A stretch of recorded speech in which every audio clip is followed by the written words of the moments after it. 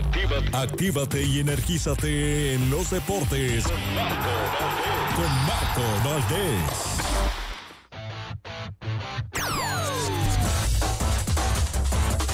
Póngale el himno del América, por favor, a Marco Valdés ante saluda. Marco, ¿cómo estás? Buenos días. Muchas gracias. ¿Cómo voy a estar? Contentísimo. Usted sí sabe cómo tratar a la gente. ¿Qué vamos a hacer? Ni modo, pero. Mira, permítame, me pondré de pie, señores.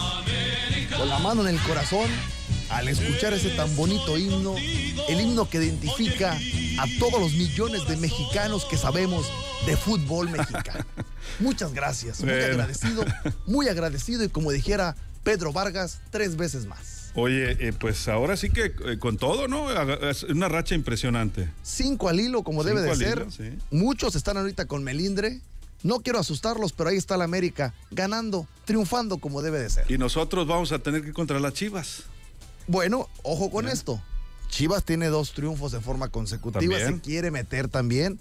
Pumas ha, mostrado mucho mejor cosas, pierden el día de ayer 2 por 0, pero bueno, no toda la vida es ganar. Si fuera a ganar, fuera en el América. adelante, hombre, ya, adelante, Marco. Entremos en materia. Me da un placer saludarles. No, le, no te puedo dar uno alas porque de, poquito quieres, ¿no? Oh, caramba, qué bárbaro. que son las de las águilas. Adelante, Marco.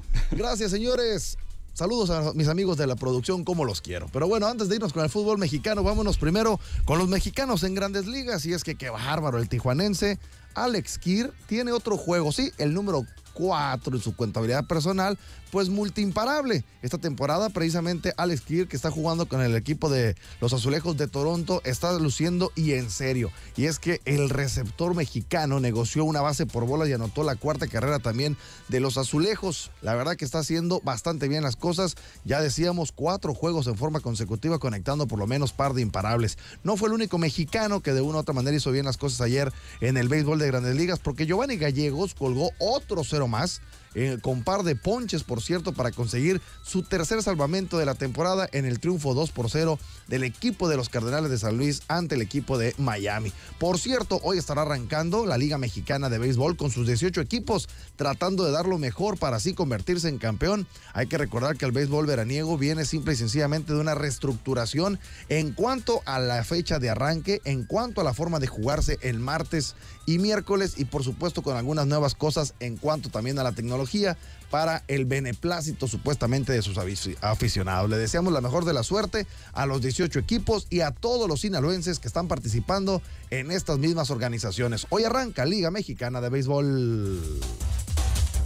Y por cierto, el Ciba Copa, el circuito de básquetbol de la costa del Pacífico, jugó su jornada o su serie número 5. Después de los primeros 10 encuentros para la mayoría de los equipos, el equipo de los pioneros de los Mochis vuelve a ganar y está como líder del certamen, 93 a 83 barriendo al equipo de Tijuana. 80 a 77 el resultado que le da la división de honores al equipo de Mazatlán enfrentando a los caballeros de Culiacán que siguen en la parte última de la tabla. 71 a 61 el resultado que le da el triunfo al equipo de los eh, Rayos de Hermosillo sobre los Astros de Jalisco y el equipo de Obregón, los Halcones, barrieron en su propia casa al equipo de los Ostioneros en Guaymas. El marcador 92 a 80. El standing en este momento, después de lo que les habíamos comentado, los pioneros de los Mochis con ocho ganados, dos perdidos, seguido por el equipo de los Astros de Jalisco, que tiene la misma número de triunfos, pero una derrota más. Hay que recordar que este equipo y el equipo de Tijuana tiene 11 juegos jugados. 6-4 el equipo de eh, Obregón en la tercera posición. Récord positivo para Hermosillo con seis ganados, cuatro derrotas, jugando para 500 Mazatlán 5-5. Y ahí aparece precisamente el equipo de los Sonke y los tricampeones, los tijuanenses 4 por 7. Guaymas con dos ganados, ocho perdidos, al igual que el equipo de los Caballeros de Culiacán. Y vámonos con más información, dejando el Cibacopa para irnos con lo que realizó el Patronato Impulsor del Deporte en Sinaloa. Con la presencia del gobernador del estado, Rubén Rocha Moya, el patronato impulsor del deporte, el PITS, entregó la rehabilitación de la cancha de básquetbol en la comunidad de Valdés Montoya. Eso fue precisamente en el municipio de Nabolato. El patronato invirtió 400 mil pesos en este importante proyecto en el que se puso la iluminación LED, la cerca perimetral, la rehabilitación de tableros y la pintura en general. Escuchamos al doctor Rochamoya Quiero seguir, este, que no se me canse David, seguir este, inaugurando este tipo de obritas. ¿eh? Era mucho estarle entregando a la gente esto porque motiva mucho a la gente. Las obras deportivas con sentido social, el gobernador bien lo comentaba, a lo mejor no son obras majestuosas, pero vamos con ese tiro de precisión a darle a las comunidades. En este caso fue elegido Valdés Montoya, que tiene un significativo eh, grande, valioso. Bueno, pues así me gusta y me quedo con. Ese tipo de obritas, dice precisamente Rocha Moya, gobernador constitucional del estado de Sinaloa. Pues hay que recordar que de grano en grano, pues llena el buchi y la gallina. Perfecto. Así ojalá que todo Sinaloa siga de una u otra manera beneficiándose con estas obras. Y en el fútbol mexicano, la jornada número 15 enfrentó al Pumas contra el Atlético San Luis. San Luis sorprendió precisamente al equipo número 2 del fútbol mexicano. 2 por 0 le ganaba San Luis al Pumas. 0 por 0 el campeón Atlas contra Monterrey. Y el León sufrió y en serio. Y es que enfrentaron al mejor equipo de México, al América 2 por 0 con todo y que digan que tres expulsados de León, los americanistas no tenemos la culpa que sean tan cochinos el equipo de León para jugar y hoy se termina la serie número 15. Querétaro estará enfrentando al equipo de la máquina de la Cruz Azul.